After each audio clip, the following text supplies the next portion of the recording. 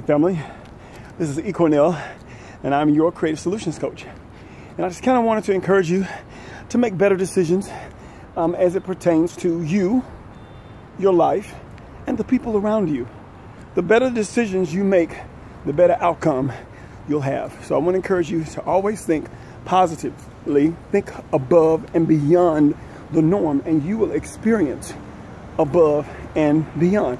Whatever that thing is that you plant is going to be the same thing that you harvest. So if you're looking for something great, plant something great. If you're looking for mediocre, just continue to deal in mediocre or even less than that. So anyway, I am E. Cornell, your creative solutions coach, and I am challenging you to think above only and never beneath. It doesn't even look good, does it? But anyway, do me a favor and subscribe to my channel.